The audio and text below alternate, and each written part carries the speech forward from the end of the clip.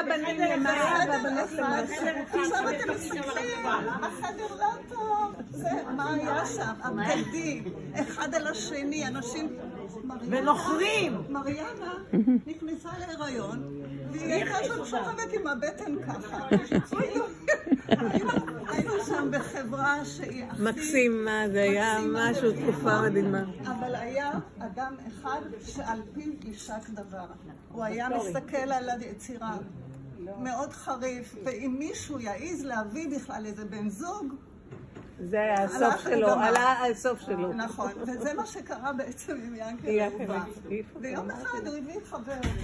לא, את המשפחה שלו הביא גם את המשפחה. אבל- לא, לא, הוא הביא את ה- באירוע- את הגיס של, אה, איך קוראים לה? טובלה. טובלה. הוא הביא חבר, אז טובלה. הנה, הוא הביא חבר, ויה- וכפתורי.